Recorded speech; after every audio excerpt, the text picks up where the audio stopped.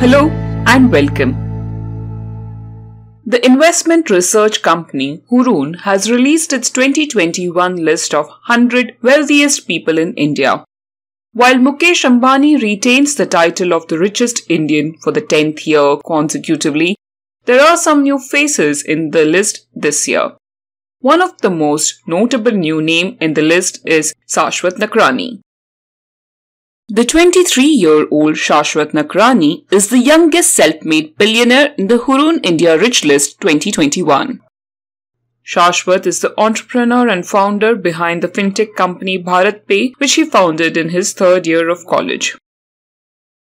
Shashvat Nakrani hails from Bhavnagar in Gujarat. He co-founded the BharatPe payment gateway at the age of 19 with his colleague Ashneer Grover in 2018. Shashvat was a third year textile engineering student in IIT Delhi at that time. Shashvat identified a large gap in the market that is the need for a payment gateway that was usable by merchants and shopkeepers and that does not cut into their margins. Shashvat figured out the solution that would work on the interoperability feature of the UPI or the Unified Payments Interface when other payment companies were using closed ecosystems, Shashvat's BharatPe allowed merchants and shopkeepers to use just a single QR code to accept all payment apps such as Paytm, PhonePe, Google Pay, BHIM, and other UPI apps. This level of commercial compatibility and innovation is one of the reasons behind BharatPe's success in the industry.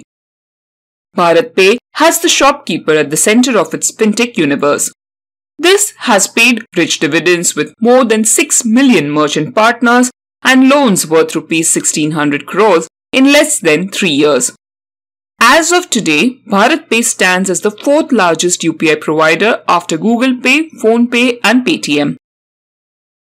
In August this year, BharatPe launched a new lending service and product named as 12% Club this is a peer-to-peer platform which allows customers to not only earn 12% interest on their investments but also borrow money at an interest of 12%. BharatPe is aiming to achieve an investment asset under management of 100 million USD by the end of this financial year using the 12% club platform.